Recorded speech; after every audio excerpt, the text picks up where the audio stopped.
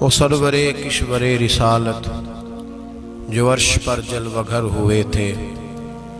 नए नवेले तरब के सामा, अरब के मेहमान के लिए थे। यहाँ ज़मी पर, वहाँ फलक पर, रची थी शादी, मची थी धूमे। आला हज़रत फाजल बरेलवी रहमत नबी पाक के मिराज का तस्करा करते हैं। फरमाते यहाँ ज़मी पर, वहाँ फलक पर रची थी शादी और मची थी धूमें। इधर से नफखात उठते आते, उधर से अनवार उठ रहे थे। और फरमाते हैं, कमान इमका के झूठे नुकतो, तुम अव्वल और आखिर के फेर में हो। मुहीत की चाल से तो पूछो किधर से आए, किधर गए थे। और फरमाते हैं, बचा जो तलवों के, उनका धोवन। बचा जो तलवों का, उनके कहते हैं, जब नबी पाक के पैर धोए ना फरिश्तों ने तो उससे जो पानी बच गया था, लग के जो बच गया, कहते हैं, बचा जो तलवों का उनके धोवन, बना वो जन्नत का रंग रोवन। बचा जो तलवों के उनका, देखें, ये तखयल सिर्फ़ फाजिल बरेलवी का है। ये किसी और की सोच, ये तखयल सिर्फ़ आला हज़रत फाजिल बरेलवी का है। फरमाते हैं, बचा जो तलवों के उनका धोवन। बना वो जन्नत का। रंग रोगन नहाने में जो कुछ बचा था पानी, कटोरे तारों ने भर लिए थे। कहते ये जो सितारों में रोशनी है ना, जब हुजूर ने गुसल किया ना मेराज की रात तो जो उसमें से पानी बच गया तो ये तारे उठा के ले गए थे। अल्लाह ने सबको रोशनी अता कर दी है। फरमाते हैं, जन्नत बड़ी हसीन है, लेकिन उसका जो रंग रोगन है ना वो मेराज की रात जो हुजूर के पैरों से पानी लग के गया है, उसकी वजह से अल्लाह ने उसे रंग रोगन अता फरमा दिया। वो सरवरे, किशवरे, रिसालत जो अर्श पर जलवगर हुए थे, नए नवेले तरब के सामा, अरब के मेहमान के लिए थे। अज़ीज़ दोस्तों, मेराज मुस्तफ़ा सल्लल्लाहु अलैहि वसल्लम। मिराज हुजूर का मोजा है। मिराज नबी पाक सल्लल्लाहु अलैहि वसल्लम के उस अजीम मोजे को कहते हैं जिसने पूरी दुनिया की अकल को आजिज कर दिया। उस जमाने में मुशरकिन, मुनाफिकीन इनकार करते थे कि हुजूर कैसे गए, किस तरह गए, कैसे हो सकता है। आज हमारे जमाने में कुछ अक्लमंद मुसलमान, हालाँकि अलामा इकबाल बड़ा अरसा पहले कह चुके अकल को तनकीद से फुर्सत ही नहीं। अक्ल को तनकीद से। अक्लमंद बंदे को होना चाहिए कि नहीं? जी। पर तनकीद वाली अकल नहीं होनी चाहिए। अक्ल को तनकीद से। इकबाल एक ऐसा शायर है जो शेर का वज़न बनाने के लिए लफ्ज इस्तेमाल नहीं करता। कि वज़न बन जाए, चलो। लफ्ज कोई भी हो। आजकल तो लोग वज़न बनाने के लिए पता नहीं उसका मफहूम क्या है।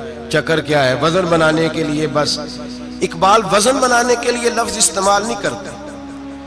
इकबाल कहते हैं कि मेरी पूरी जो सोच होती है, वो मेरा पूरा फिक्रा होता है। सोच। इकबाल ये नहीं कहते कि अकल एक मिनट, दो मिनट तनकीद करती है, फिर चुप कर जाती है। कहते अकल को तनकीद से वेली बहती नहीं, सारी दिहाड़ी तनकीद कर दी रही एक मिनट की भी इसको फुर्सत करती क्या है? बोले अकल को तनकीद से तो फिर हम क्या करें? तो कहने लगे, तू इश्क पर ईमान की बुनियाद रख। इश्क पर ईमान की, वरना तो मुसलमान कैसे हो सकेगा? अकल तो तुझे बड़ी बड़ी जगहों पे ठहराएगी। देखो ना, ये कैसे हो सकता है? वो कैसे हो सकता है? नबी करीम सलाम का जो मोजा मेराज है ना, वहाँ भी लोग अड़ गए थे मेरे भाई, और आज तक लोग अड़े हुए अड़े हुए एक बंदे दर्जनों किताबें लिखते हैं, लोग कहते हैं, जी, नबी पाक ख्वाब में गए थे। तो मैं कहता हूँ, जनाब, मैं अगर ख्वाब में सारी अर्श कुर्सी लोहो महफूज होके आ जाऊँ तो किसी को इतराज होगा?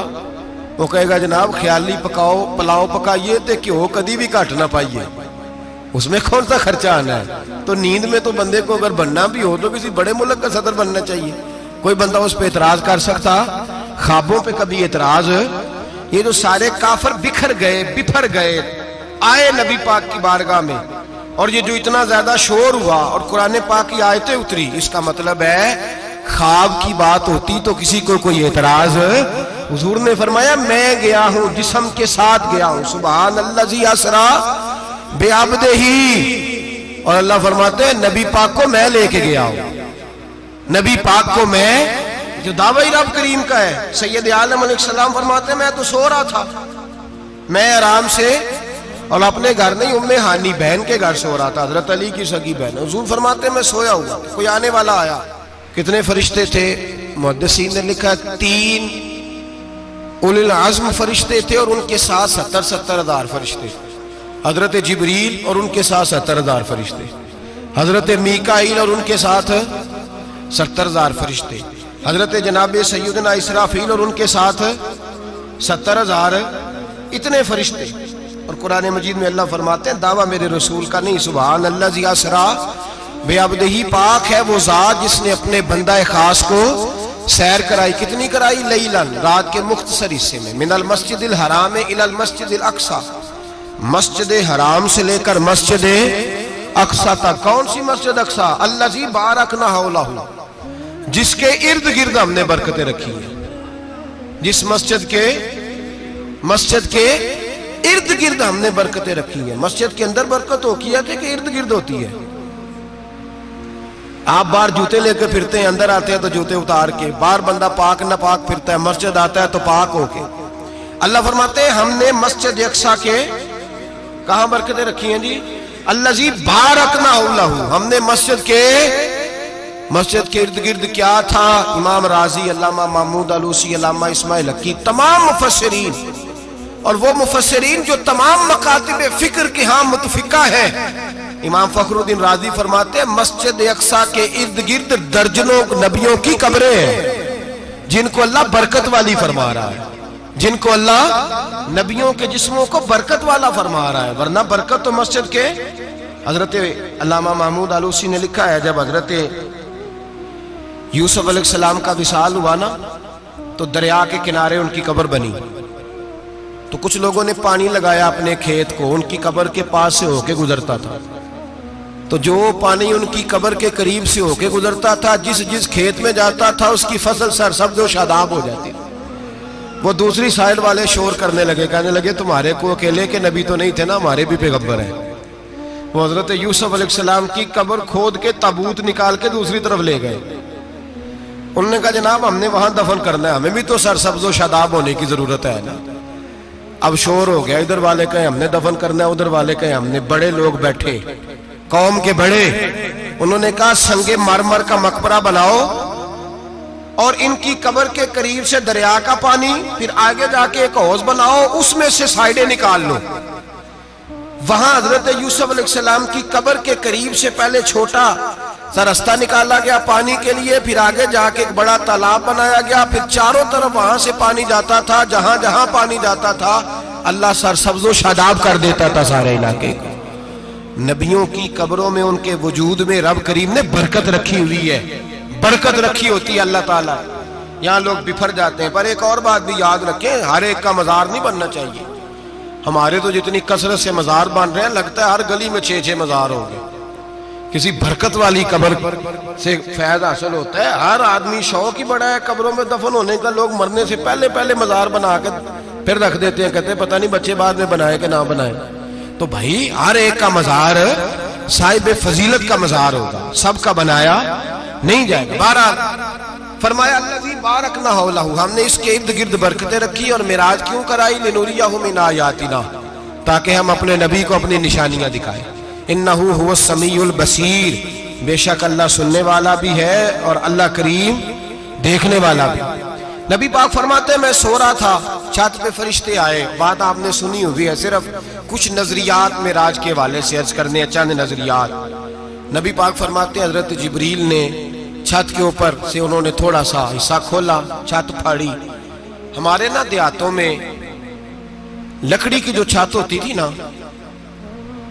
उस पे एक बंदा भी अगर चलता था ना तो घर के जो बुज़ुर्ग होते थे, कहते थे, पता करो, छत पे बंदा है कोई? एक आदमी। फटाफट बुज़ुर्ग जाग जाते थे कहते, पता करो भाई। बल्कि साथ वाले को आवाज़ देते थे, दरवाज़ा खोलते थे। होता था कि नहीं होता था? हो जाता था ना? ओ भाई, डेढ़ पौने दो लाख बंदा छत पे चले। अल्लाह के रसूल फरमा रहे मैं सो रहा हूँ। छत फाड़ दी, हज़रत जबरील आ गए। नबी पाक वसल्लम के पास सत्तर सत्तर हज़ार फरिश्ता साथ है। आके खड़े हो गए मीकाईल से, इसराफील से मशवरा कर रहे हैं, हजूर को कैसे जगाएँ? नबी पाक फरमाते हैं, मैं सो रहा हूँ। हालाँकि बुखारी में लफ्ज है। नबी पाक फरमाते हैं, मेरी आँखें सोती हैं, दिल तो मेरा हर वक्त जागता रहता है। नबी करीम, सैयद आलम सल्लल्लाहु अलैहि वसल्लम फरमाते मैं सोया रहा, अब हुजूर आराम कहाँ कर रहे थे ज़मीन पे? आराम कहाँ कर रहे थे? हुजूर सलाम ज़मीन पे आराम कर रहे थे, जनाब जबरील झुके। कितना झुके? कि हुजूर के कदम ही चूम लिए। नबी पाक के कदम तो कितना झुके होंगे जी? रुकू तक। जी? मैं नहीं जी गल की सजदे की तुसा की जे फतवा लगा तो लगना जी। कहाँ तक लगी? कहाँ तक झुके? आला हज़रत कहते हैं, हज़रत जबरील ने सजदा नहीं किया नबी पाक। मेरे आला हज़रत का कमाल ये है कि शरीयत भी बच जाती है और इश्क को भी पूरा सुकून मिल जाता है।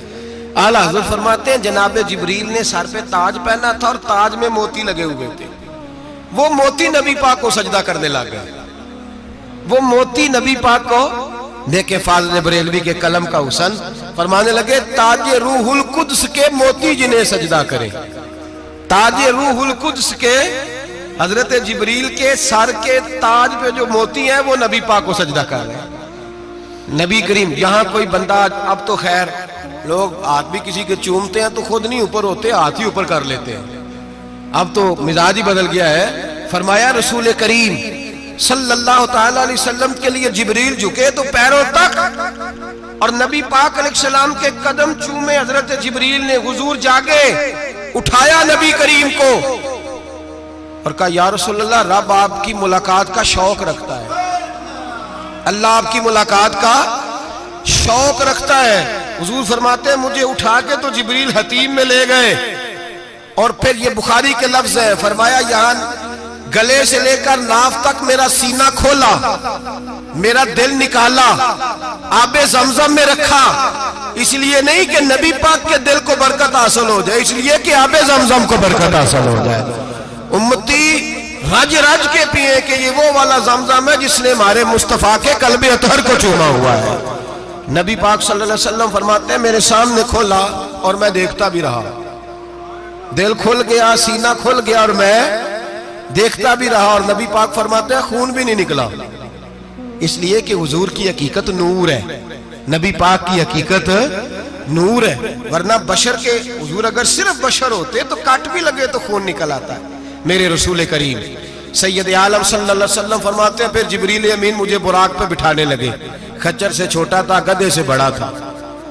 और बिजलियों का बना हुआ था, जहाँ उसकी नज़र जाती थी, वहाँ उसका कदम जाता था। नबी करीम फरमाते मुझे बिठाने लगे तो मैं रोक गया। मैंने कहा, मैं नहीं बैठता।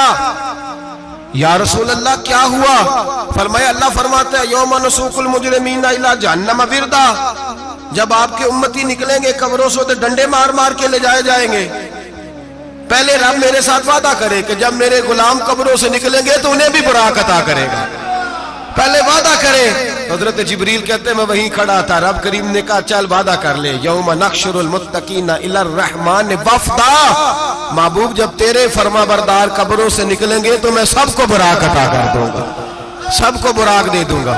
नबी करीम फरमाते, मैं बुराक पे बैठा सफ़र शुरू हुआ। नबी रहमत सलाम फरमाते, मैं गुजरा। ये बात आपने सुनी हुई है, पर बयान करने भी बड़ी ज़रूरी है। मरार तो अलमूसा फ़ी कब्र ही। रवाहू मुस्लिम। ओ खुदा के बंदो, अल्लाह तबारक वाली हिदायत का नूर दे, कहाँ बैठ के कुरान और सुन्नत पढ़ते हो? क्यों नहीं अकीदे को समझते? नबी करीम सलाम ने फरमाया, मैं मेराज की रात गुजरा, ये सुन्नी कान खोल के सुने, दिल खोल के। सही मुस्लिम की हदीस। फरमाया, मैं मेराज की रात गुजरा तो हज़रत मूसा अपनी कबर में खड़े होकर नमाज़ पढ़ रहे थे। हज़रत मूसा अपनी कबर में, बोले सारे अपनी कबर में। हज़रत मूसा अपनी कबर में खड़े होके, अब आओ हज़रत सईद बिन मुसैयब ताबी है सियाबा के शागिर्द वो कहते हैं, जब यजीदी फौजों ने मदीने पर हमला किया और यजीद का मुकर करदा इमाम आया तो सियाबाई के मस्जिद नबी छोड़ गए। तीन दिन तक मस्जिद में नमाज़ कहा हम यजीदी इमाम के पीछे नमाज़ नहीं पढ़ेंगे। मदीने पे हमला हुआ, मक्के पे हमला हुआ। हज़रत सईद बिन मुसैब कहते हैं, मैं दीवाना बन के, मजनून बन के। अंदर घुस गया, यजीदी फौजें समझी, मैं दीवाना हूँ, शायद पागल हूँ। मुझे उन्होंने तकलीफ़ कोई ना दी। फरमाते, मैं नबी पाक की कबर के साथ टेक लगा के बैठा था। ज़ोर का वक्त हुआ तो मैं रोने लग गया। अब मैं नमाज़ कैसे पढ़ूँगा? अजान का कैसे पता चलेगा? आप फरमाते, मुझे अल्लाह की इज़्ज़त की कसम। जब अजान का वक्त हुआ तो नबी पाक की कबर से अजान की आवाज़ आने लगी। फरमाते जब जमात का वक्त हुआ तो हजूर की कबर से इकामत की आवाज़ आई, फिर जमात की आवाज़ आई और मैंने अपने नबी के पीछे ज़ोर की नमाज़ अदा हजूर के पीछे हज़रत मूसा अपनी कबर में नमाज़ पढ़े और मेरे रसूल तो कबर में जमाते कराते हैं। हजूर जमाते कराते और आप फरमाते मैं तीन दिन मस्जिद कान खोल के, दिल खोल के सुनो, हमने कोई रेडीमेड अकीदा नहीं अपनाया। हम कोई दाएँ बाएँ से पकड़ के नहीं ले आए कि वो फुला आया था, बहुत बड़ा, उसने जुब्बा कुब्बा पहना था तो उसके पीछे लग गए। हम किसी को नहीं मानते। हम तो मानते हैं रसूलुल्लाह के गुलामों को। हम तो मानते हैं सियापा को। हमें हज़रत सईद बिन मुसैब बता गए हैं कि जो कहे तुझको मुर्दा, वो मुर्दा है वल्ला। तू ज़िंदा है वल्ला। तू ज़िंदा है वल्ला। तू ज़िंदा है वल्ला। मेरी चश्मे आलम से छुप जाने वाले मेरे रसूल करीम सल्लल्लाहु अलैहि वसल्लम ने फरमाया, मूसा अपनी कब्र में खड़े होकर नमाज़ पढ़ रहे थे। हज़रत मूसा अगर ज़िंदा है तो जो मूसा के भी इमाम है, जो जनाबे मूसा के भी, ऐसे ही फटाफट। हम पे तो किसी का रोब तारी नहीं होता। इतनी इतनी मोटी जिल्दें लोग किताबों की दे जाते हैं, कहते पढ़ो जी, की लिखे है? मैं क्या असल में इसके दिल में प्यार नहीं। इसने सिर्फ़ मोहम्मद लिख के सल्लल्लाहु अलैहि वसल्लम लिखा है। इस, ये थोड़ी देर बैठता बरेली के इमाम के पास। तो इसे बताते हैं, हज़रत मोहम्मद ने लिखना चाहिए लिखना चाहिए इमामुल अंबिया। सरवरे कौनो मकान, ताजदार हल अता, लिखना चाहिए लिखना चाहिए, मुश्किल कुशा, हाजत रवा, हबीबे खुदा, मोहम्मद मुस्तफ़ा। सल्लल्लाहु, तुम्हें तो नाम नहीं ढंग से लिखना आता, तुम मुस्तफ़ा की बात क्या करोगे? तुम्हें क्या खबर? मिलाद की बात आए तो जायज़ नहीं, मिराज की बात आए तो कहते हैं खाब में हुई थी। क्या बुगज है? रट्टा क्या है? आला हज़रत फरमाते खाए तुझको तपे सकर तेरे दिल में किससे बुखार है? हुजूर की शान की बात आती है, तू अड़ जाता है। आप बकर सिद्दीक से पूछ अबू जाल ने आके कहा, तेरा रसूल कहता है, मैं अठारह हज़ार साल का सफ़र एक मिनट में तय कर आया हूँ। ज़मीन, जन्नत दो हर्षा देख आया। अबू जाल कह रहा है। अबू बकर सिद्दीक फरमाने लगे, अगर मोहम्मद अरबी ने कहा तो आकर साची कहा है। अगर रसूलुल्लाह ने कहा है तो आकर मानने वाला, अकीदा बना मानने वाला। ऐसे लोग सड़क पे बैठ के बात कर देते हैं और फटाफट सुन्नी भी मसला पूछने आ जाता है, कहता है, जी, वो फलाना मौलवी वो कौन होता है? कौन है वो? किसकी बात कर रहे हो? बात करनी है तो वो बकर सिद्दीक की करो, उस्मान गनी की करो, मौला अली की करो, अंस बिन मालक की करो, तलहा और जुबैर की करो। हम किसी दाएँ बाएँ वाले शख्स की बात न करते, न सुनते। हम पे नहीं किसी बंदे का रोब तारी होता होगा चल दौड़ जा। हम तुझे क्या समझते हैं? हम तो समझते हैं उसको जिसकी बात से रसूलुल्लाह की प्यार की खुशबू आती है।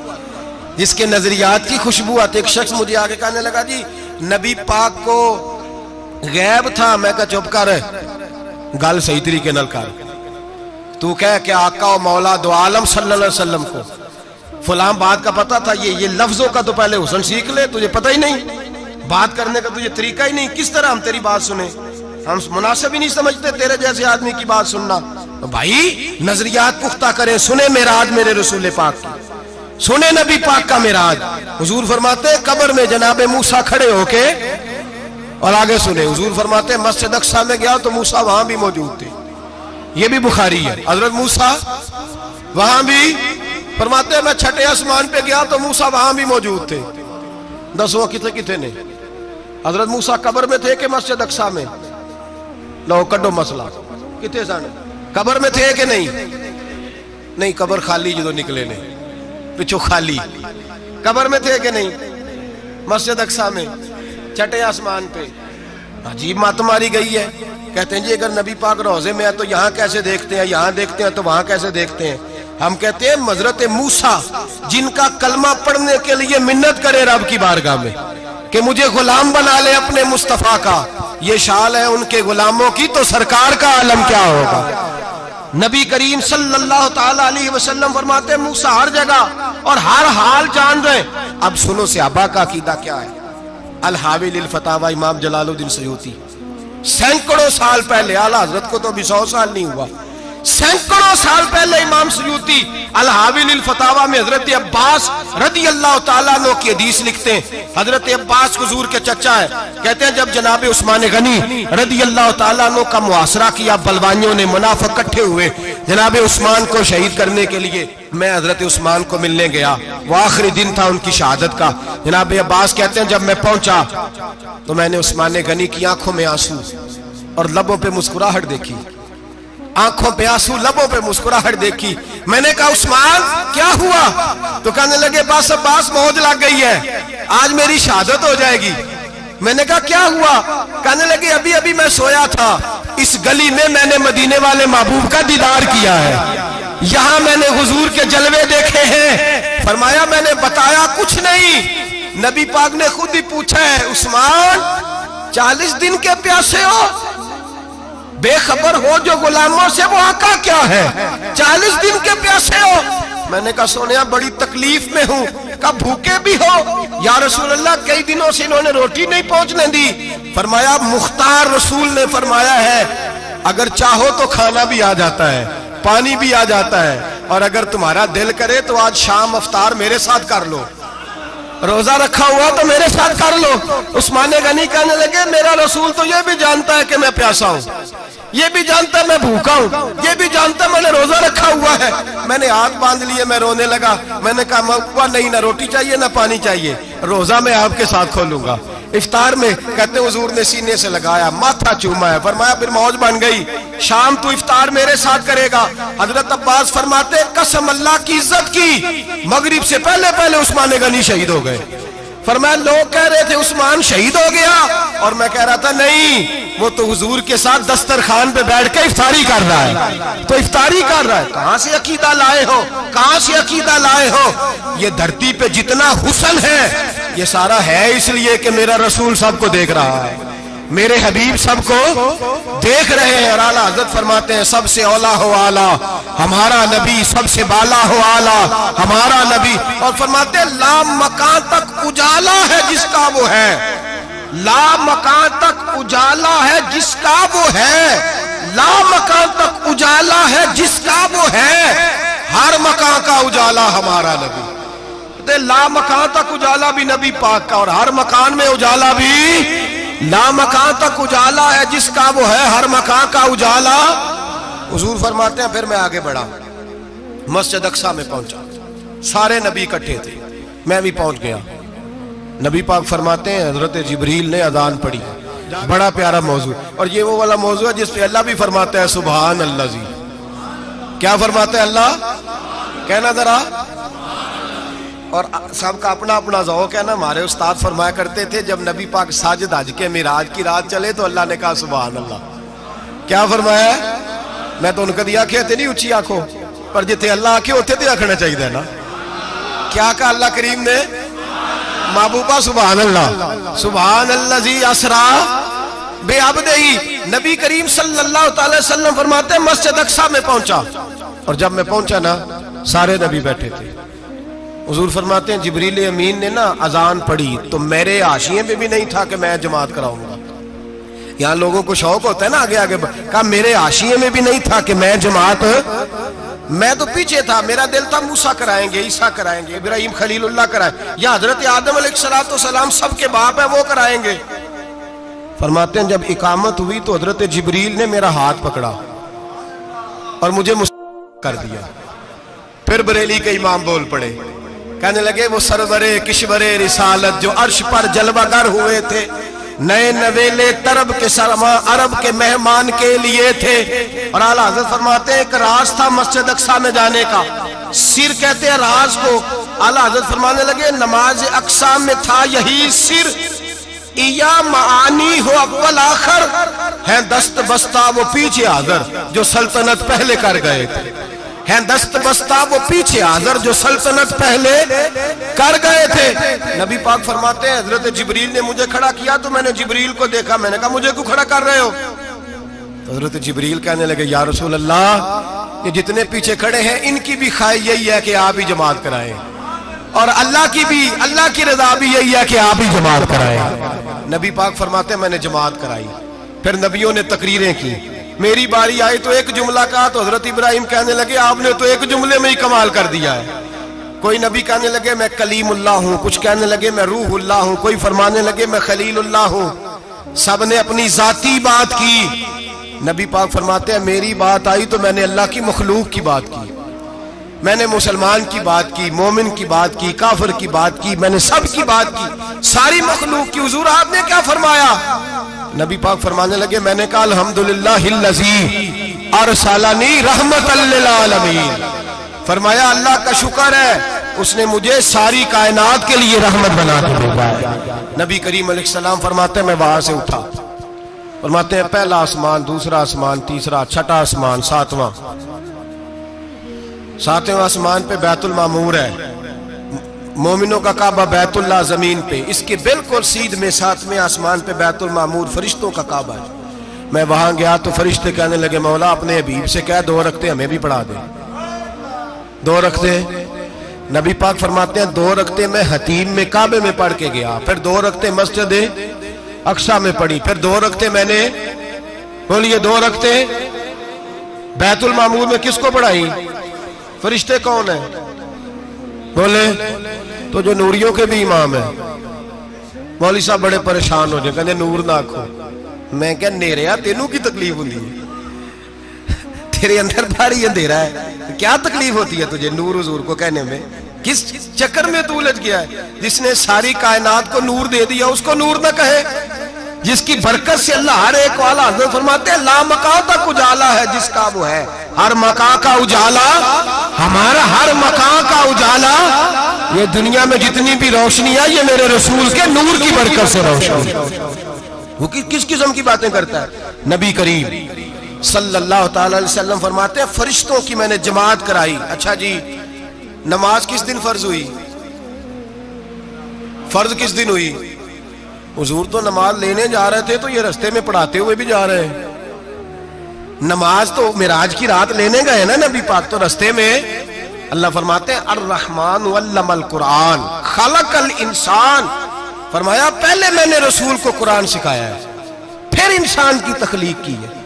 नमाज़ बाद में फ़र्ज़ हुई उम्मत के लिए। नबी पाक को तो अल्लाह ने सारे उलूम पहले से अता फरमा दिए। सारे उलूम। इसका मतलब यह भी हुआ कि नमाज़ से छुट्टी मिल सकती, काबे में भी नमाज़, बैतुल मुकद्दस में भी, बैतुल मामूर में भी, बैतुल्ला में भी हर जगह ही। तो जो भागना चाहे नमाज़ से भाग सकता, इसलिए कि मिराज में जगह जगह नमाज़ है। नमाज़ ही नमाज़ है हर जगह। अल्लाह के भी फरमाते हैं, बस सातवें आसमान पे गए तो जबरील रोक गए। कोई रह फलक उत्ते यार गया, ते कुछ सिदरा ते हार गया। एक कालिया जुल्फा वाला सी जड़ा लंग अरशा तो भी पार गया। नबी पाक फरमाते हैं, जबरील ठहर गए। मैंने कहा, चल। कहने लगे, यार सुल्ला आगे गया तो मेरे पर जल जाएँगे। हालाँकि मुल्ला रूमी कहते हैं, नहीं, अगर हज़रत जबरील साथ जाते तो कुछ भी नहीं होना था, बल्कि जबरील की मौज लग जानी थी। और एक और बात, जब यहाँ हजूर रुके ना तो नबी पाक ने फरमाया, चल, तू नहीं जाता तो कोई ख्वाहिश ही बता दे अपनी। तो हज़रत जबरील कहने लगे, या रसुल्ला मेरी ख्वाहिश ये है, जब कयामत के दिन आपके परहेजगार उम्मती पुल से रात से गुजरे तो अल्लाह मुझे नीचे पर बिछाने की तोफीक अता फरमाए। ये मेरी ख्वाहिश है। नबी रहमत सल्लल्लाहु अलैहि वसल्लम फरमाते हैं, मैं वहाँ से आगे बढ़ा जहाँ हज़रत जबरील भी रह गए। मैं फिर वहाँ से, फिर रब करीम के हरीम खास में। नबी पाक फरमाते इस रस्ते में मैंने बड़ा कुछ देखा। जन्नत देखी, दोजख देखा, फरिश्ते देखे, उरें देखी गिलमान देखे। बड़ा कुछ देखा। नबी रहमत, मुल्ला रूमी ने ऐसी रवायत भी लिखी है। फरमाते हैं, एक हूर के पास से गुजरने लगा तो उसने मेरे पीछे से आवाज़ दी, कहने लगी, महबूबा, मैं राज पे आया तो मुझे भी कुछ दे दो। मुझे भी कुछ दे दो। तो मुल्ला जलालुद्दीन रूमी लिखते हैं, नबी पाक ने फरमाया, चल जा, मैं मैंने तुझे अपना बिलाल दिया। तो वो हूर कहने लगी, महबूबा, वो तो काला कलोटा है, मेरे लिए रह गया है। तो मुल्ला रूमी ने लफ्ज लिखा, ये उनकी मोहब्बत है, ये उनका प्यार है। फरमाते महबूब फरमाने लगे, तू काला कह रही है, अभी तो मैंने उससे पूछा नहीं, पता नहीं तुझे पसंद भी करता है कि नहीं। तुझे कबूल भी करता है कि नहीं, अभी तो मैंने उससे पूछा ही नहीं। फलक अच्छा है, कमर पे ना हिलाल अच्छा है। तेरी नज़र भी ना हो तो दोनों से बिलाल अच्छा है। नबी पाक सल्लल्लाहु फरमाते, उमर मैंने तेरा घर भी देखा है। अबू बकर का देखा, उस्मान को देखा, अली का देखा, फरमाया, फिर तेरा भी देखा। बाहर हूर बैठी थी। मकान बड़ा प्यारा था। मेरा दिल करता था अंदर जाऊँ, पर मैंने कहा, उमर जरा जलाली है। उससे पूछ के जाना चाहिए उसके घर में। जरा जलाली है। सियाबा कहते हैं, फारूक आदम चीख मार के रोए। कहने लगे, मैं कहा? मेरे इस यहाँ की हकीकत कितनी? मुझसे सौ लाख को काफ़ी है इशारा तेरा। यार रसुल्ला उमर को अगर घर मिलेगा तो आपकी कदमों की बरकत से मिलेगा। यार रसुल्ला अब ये क्या फरमा रहा नबी पाक फरमाते हैं, मैं बारगाह खुदाबंदी में पहुँचा। बारगाह खुदाबंदी में पहुँचा। अल्लाह ने फरमाया, अभी मेरे लिए क्या लाए हो? मैंने कहा, मौला वो लाया हूँ जो तेरे पास कोई नहीं जो तेरे पास कोई नहीं। रब करीम को सारा पता है, फिर भी पूछता है, महबूब, मेरे पास क्या नहीं? फरमाया, तेरे पास आजजी लेके आया हूँ। तुझसे बड़ा कोई नहीं, तू किसके आगे आजजी करेगा? सबसे बड़ा तू है, मैं आजजी लाया हूँ। तो कहा भी मांग ले। ओ भाई, बच्चे बड़े प्यारे होते हैं। लोग जब हाथ उठाते हैं ना तो मैंने देखा है माँ बाप अपने लिए बाद में मांगते हैं, औलाद के लिए। और बिलखसूस जो बेटी होती है ना, बेटी मेरी भी एक बेटी है, वो लिपट जाती है, कहती है, साहब, गए थे तो लाए क्या हो? पहले जाने से पहले वादा करना पड़ता है कि जाने दो, कुछ लेके आएँगे और जब आए तो आते ही तलाशी देनी पड़ती है कि, साहब, क्या लाए? ओ भाइयों, मेरा और आपका प्यार तो और तरह का है। दुनिया में अगर किसी ने बेटी से प्यार किया है तो मदीने वाले हबीब ने सैदा फातिमा से किया है, हसन और हुसैन से किया इस प्यार को ना कोई तोल सका, ना कोई नाप सका, ना कोई भाप सका। मेराज की रात जब नबी पाक से रब करीम ने कहा कि बोलो, महबूब, क्या चाहिए? किसी कमज़ोर रवायत में भी नहीं मिलेगा कि नबी पाक ने कहा अल्लाह फातिमा के लिए कुछ दे अल्लाह हसन हुसैन के लिए कुछ दे। उम्मती भूल जाता है, इसे ख्याल ही नहीं आता। ये सोचता है, कैसे हुजूर की फर्मा बरदारी करूँ?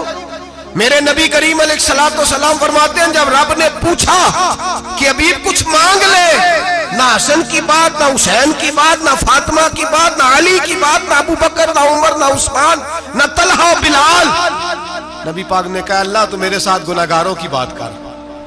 अल्लाह तो गुनागारों की बात कर, ये भूल जाएँगे, फटक जाएँगे। अल्लाह गलतियाँ करेंगे, तू क्या करेगा? तो रब करीम ने कहा, महबूब मैं तेरे साथ वादा करता हूँ, तेरी यादी उम्मत बगैर हिसाब किताब जन्नत में दाखिल कर दूँगा। नबी करीब ने फरमाया, मौला, नहीं, ये बात मुझे काबिल कबूल ये भला किसकी बात हो रही है? बोले, मेरी आँखों साड़ी होंगी पी किसकी बात हो रही है? आप खुशी नहीं हो रहे। आपकी बात हो रही है, आप राज़ी नहीं हो रहे। ये सबसे कीमती बात है। मेरे आपके चाहने वाले कब्र में छोड़ के लौट आएँगे। ये वाली बात काम आएगी जो मेराज की रात हुई है। ये बात काम आएगी कबर में। इसको राज़ी होके सुनो, दिल और आँखें खोलो। मेरे रसूल करीम सल्लल्लाहु अलैहि वसल्लम फरमाते या अल्लाह नहीं, ये बात मंजूर नहीं। अभी तू क्या चाहता है? तो कहे, अल्लाह तू मुझे सिफारिश का हक अता कर। तू मुझे इजाज़त दे। मैं कहता जाऊँ तो माफ़ करते जाना। आदि वाली बात काबिल कबूल। हुजूर कह सकते थे ना, चलो आदि बख्शी गई, भाई आदि अच्छे अमल करे। फरमाया, नहीं, मुझे हक्के शफात दे। नबी पाक फरमाते हैं, मेरे रब ने मुझे सिफारिश का हक दिया है। मैं कयामत में सिफारिश करता जाऊँगा, अल्लाह मेरी उम्मत को जन्नत अता करता जाएगा। हुजूर वापस लौटे।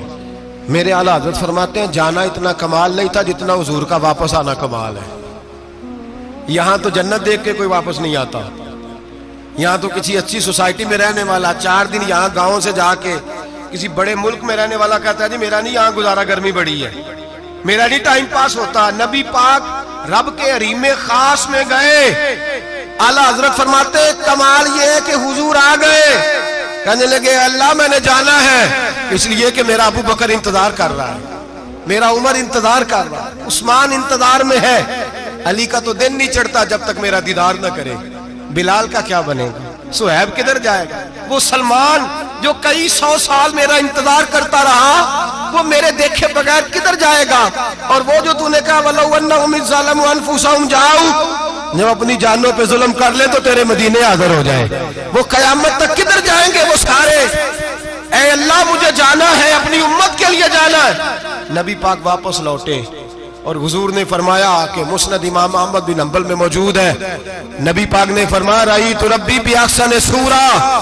मैं रब देख के आया हूँ और बड़ी प्यारी सूरत में देख के आया हूँ। किसे देख के आया हूँ? बोलिए, अल्लाह का नाम लेंगे, अजर मिलेगा। किसको देख के आया हूँ? बोलिए, किसको? किसको जी? यहाँ भी परसों एक मजमून में देख रहा था। कहने लगा, जी, हजूर ने मेरा, आज की रात जबरील को देखा, अल्लाह को नहीं देखा। मैं क्या तू शदाई हो गया। मुझे एक बात का जवाब देना आप। सुने, अगर नबी पाक ने अल्लाह को देखा हो तो मेरा आपका नुकसान है, कोई इस बात में? बेलो तुम नहीं ना बोले। हूँ मैं तो खिलार के जो पूछा कि जो नुकसान है दसो फिर की करोगे? भाई, अगर नबी पाक ने अल्लाह को देखा तो उम्मत का फ़ायदा के नुकसान। तो जेडे मौलवी एडी वीडी किताब लिख छड़ी, नहीं वेख्या नहीं वेख्या भी कभी पूछ लिया करो भी, तेनू की मुसीबत बनी है लागे तेनू की वक्त बने लागे अजीब तू, अजीब नस्ल का तू जानवर है। भाई, नबी पाक ने देखा अल्लाह को, तुझे क्या तकलीफ़ है? कहता नहीं देखा। मैं क्या तू नाल से तेनू की पता हो चलिया। अजीब तू इंसान है। इतनी मोटी किताब लिख दी कहता जबरील को देख के आ गए। मैंने कहा, जिबरील तो रोज वहाँ खड़े होते थे दरे रसूल पे। वो तो वहाँ खड़े होते थे। रोज़ाना आए होते थे। उनको देखने जाना था। पढ़ मुस्नद इमाम मोहम्मद बिन हम्बल में हज़रत अब्दुल्ला इब्ने अब्बास क्या कहते हैं? कहते हैं रही तो रब्बी बेअक्सा ने सूरा। नबी पाक फरमाते मैंने रब बड़ी हसीन सूरत में देखा है। हज़रत अंस बिन मालिक फटोन उठ के खड़े हो गए। उससे अगली बात सुनो। हज़रत अंस मालिक रज़ी अल्लाह तआला कहने लगे, यार सुल्ला अकेले देखा हो? मैंने भी देखना है, मेरा भी दिल करता है। वो बोले तो बाकी भी बोल पड़े। कहने लगे, बाबू बातू अकेला ही देख आया वाइदा साला का इबादी अन्नी फाइन्नी करीब। हुजूर हमारा भी दिल करता है।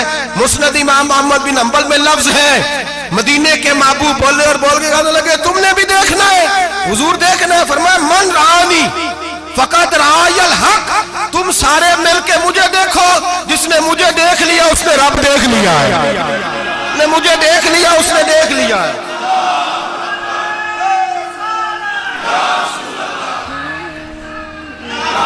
मुझे देखो फरमा इधर देखो। अब बड़ी शानवार बड़ी शानवार, बड़ी शान नबी करीम सल्लल्लाहु अलैहि वसल्लम ने और फिर बरेली के इमाम बोले कहने लगे बाखुदा खुदा का यही है घर। नहीं और कोई मफर मकर जो वहाँ से हो, यही आके हो। जो यहाँ नहीं तो जो यहाँ नहीं तो वहाँ नहीं, जो यहाँ नहीं तो जो यहाँ कबूल नहीं, वहाँ भी काबिल कबूल।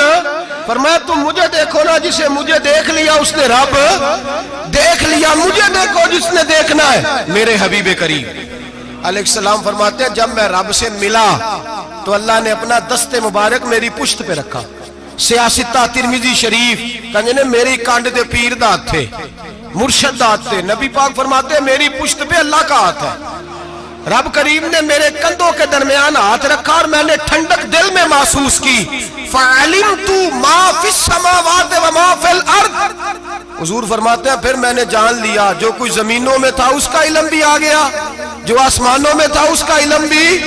अल्लाह ने फिर उलूम की कुंजियाँ मेरे हाथ में दे दी। मस्जिद नबी के मिंबर पर बैठकर जनाब उमर कहते हैं, फिर आमना के लाल ने ऐलान फरमाया, जिसने जो पूछना हो पूछे, मैं यहाँ बैठ के बताऊँगा। मेराज की रात कुंजियाँ दे दी रब करीम ने गैब की। और आला हज़रत बोल पड़े, कहने लगे, और कोई गैब तुझसे नेहा हो भला, जब खुदा ही ना छुपा रहा। कहने लगे, सबसे बड़ा गैब तो अल्लाह है तो जिसने अल्लाह ही देख लिया है। उससे पीछे क्या रह गया है? रसूल करीम। अलैहि वापस लौटे। नमाजें कितनी लाए? बोले, सारे, रह कितनी गई? किवें? पता है ना तो हम दसो मसला, किवें? हज़रत हजरत मूसा ने मदद की थी गैरुल्ला की मदद बंदा काफर हो जाता है मदद किने की है जी ਅਸੀਂ ਤੇ ਨਹੀਂ ਭਾਜੀ ਤੇ ਪੂਰੀਆਂ ਪੰਜਾਬ ਪੜ੍ਹਨੀਆਂ ਅਸੀਂ ਅੱਲਾ ਤੋਂ ਇਲਾਵਾ ਕਿਸੇ ਦੀ ਮਦਦ ਦੇ ਕਾਇਲ ਅਸੀਂ ਕਿੰਨੀਆਂ ਪੜ੍ਹਨੀਆਂ ਨੇ ਇਹਨਾਂ ਦੀ ਲਾਓ ਡਿਊਟੀ ਹੈ ਜਿਨ੍ਹਾਂ ਰੋਜ਼ ਫਤਵਾ ਕੱਢਿਆ ਹਰ ਹਰ ਜੁਮੇ 3600 ਬੰਦਾ ਮੁਸ਼ਰਕ ਹਰ ਜੁਮੇ 2 2.5 ਕਰੋੜ ਬੰਦਾ ਕਾਫਰ ਜਿਨੇ ਦਾਤਾ ਸਾਹਿਬ ਕੋ ਮਦਦਮੰਦੀ ਉਹ ਵੀ ਕਾਫਰ ਚੰਦਾ ਭਾਵੇਂ ਸਾਰੇ ਜ਼ਮਾਨੇ ਕੋ ਮੰਗਦੇ ਫਿਰਨ खला ली तरले लेंदे फिर तो यार रसूल्ला कहने वाला मुशरक डरो अल्लाह से हया करो किस तरह की जिंदगी गुजार रहे बुखारी मुस्लिम दोनों में सही सनत के साथ रवायत है नबी पाक फरमाते हैं मैं तो पचास लेके आ गया था जो रब का हुक्म सरे तस्लीम खम है जो मिजाज यार में आए लेके आया था रस्ते में कौन मिला बोले उन्हें क्या हजूर है ना नीचे पढ़निया मैं तजर्बा किया जी। वापस जाए। हजूर फरमाते, मैं गया रब करीम की बारगाह में। या अल्लाह, मेहरबानी कर। थोड़ी राहत कर। पैंतालीस हो गई, फिर आया। अजर मूसा ने कहा माबू अभी भी ज़्यादा है। इतने तो पंजा लिया ने टाइम कोई नहीं। बड़ी मुसीबत अभी बड़ी पंड पहाड़ च आया सिर ते के। थले डिग पिया तो पता नहीं की बनेगा। तो पाँच वाले बड़ी परेशानी के आलम है, माज अल्लाह फरमाते फिर गया तो चालीस हो गई। अब यहाँ नौ फेरे लगाए नबी पाक ने। जी, बड़ा कौन है? नबी पाक हज़रत मूसा? इसका मतलब है छोटों की भी बात कभी कभी मान लेनी चाहिए। कभी कभी पता नबी पाक को भी था कि इन्होंने पचास, और यहाँ तमाम मुफसरीन एक, दो, तीन, चार नहीं, तमाम मुफसरीन शारहीन ने लिखा है कि हज़रत मूसा के दिल में बात अल्लाह ने डाली थी। हज़रत मूसा की ड्यूटी अल्लाह ने खड़ा किया था कि मेरे हबीब ने तो बोलना नहीं। तू कह कि महबूबा वापस जा। महबूबा वापस जा वापस जा। नौ फेरे भेज महबूब को। और एक बात कहने लगा हूँ किसी का दिल करे तो फतवा लगा ले आमीन है।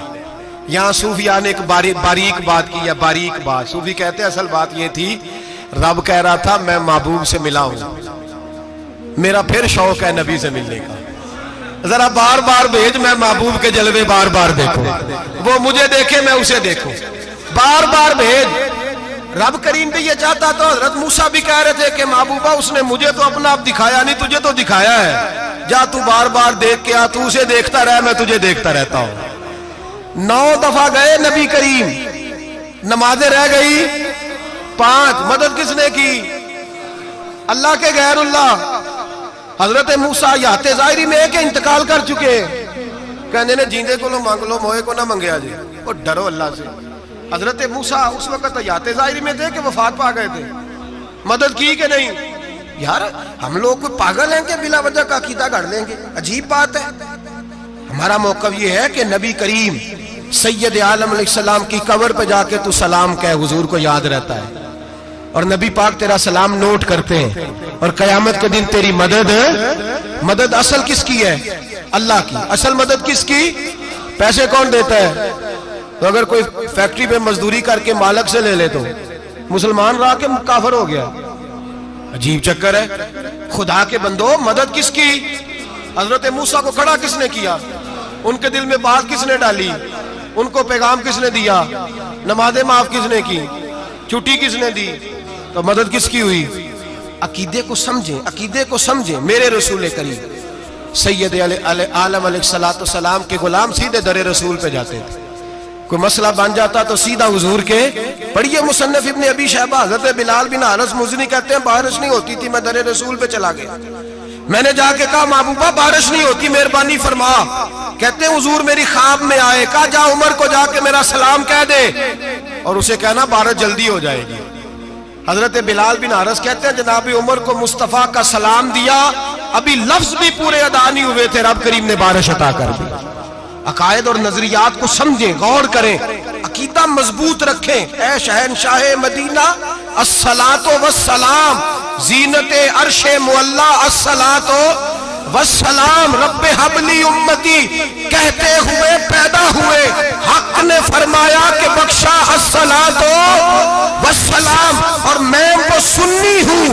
जमीले कादरी मरने के बाद मेरा लाशा भी कहेगा असलातो वसलाम मेरा लाशा भी कहेगा असलातो वसलाम रसूल करीम, सैयद आलम सल्लल्लाहु के साथ।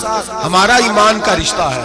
हमारा और कसम अल्लाह की इज़्ज़त की, बुखारी, मुस्लिम में हज़रत अंस बिन मालक का अकीदा है। हज़रत अंस बिन मालक फरमाते हैं, लोग नमाजों का हिसाब करेंगे, कयामत के दिन। लोग जक़ातों का हिसाब करेंगे, लोग हज कट्ठे करेंगे, सदके कट्ठे करेंगे। जनाब अंस फरमाते मैं तो कयामत के दिन अपने रसूल को तलाश करूँगा। मैं नबी पाक को तलाश, बुखारी मुस्लिम है, यार सुल्ला कहाँ ढूंढू? फरमाया, जा, औजे कौसर पे।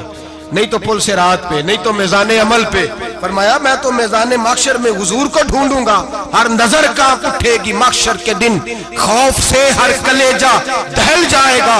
ओढ़ कर काली कमली वो आ जाएँगे। सारे माक्षर का नक्शा बदल जाएगा। नबी करीम, सैयद आलम वसल्लम का मेराज हमें दरस देता है कि हमारे नबी ज़िंदा है।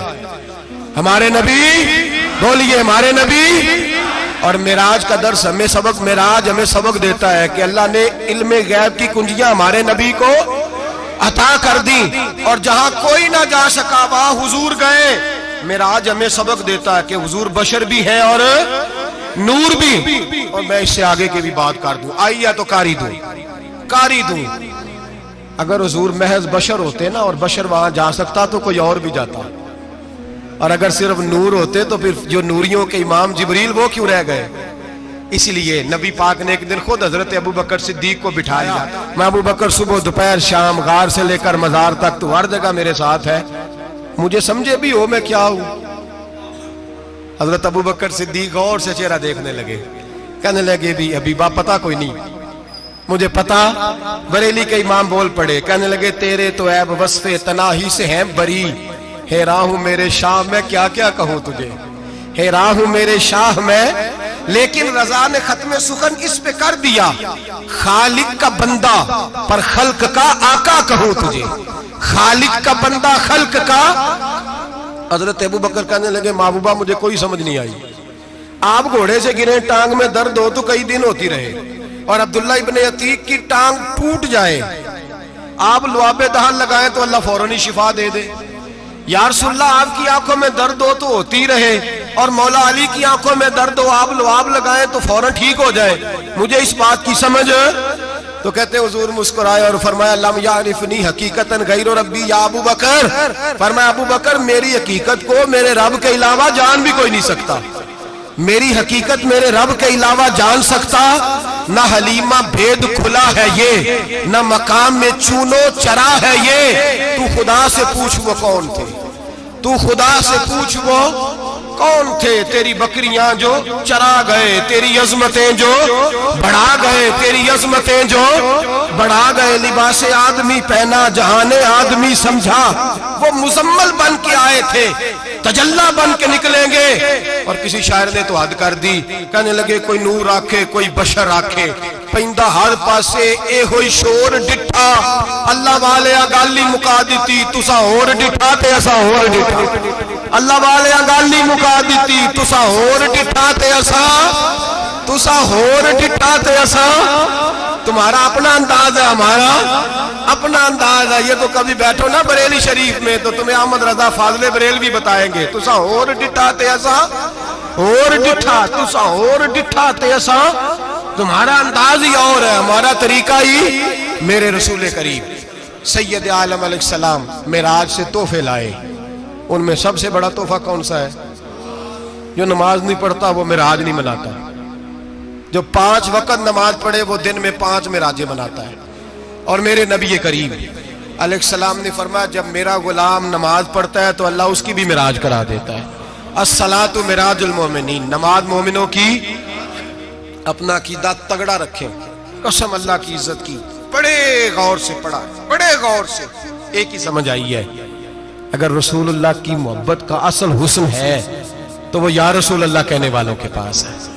और कोई कच्चा अकीदा नहीं, कोई कमज़ोर अकीदा नहीं, अपने आप को मज़बूत रख मज़बूत रख। एक दफ़ा फिर मौलाना जमीले कादरी के चंद शेर हैं, वो शेर नहीं, वो अकीदा है। अगर आप मेरे साथ पढ़ेंगे तो आपको फ़ायदा होगा इन ताला।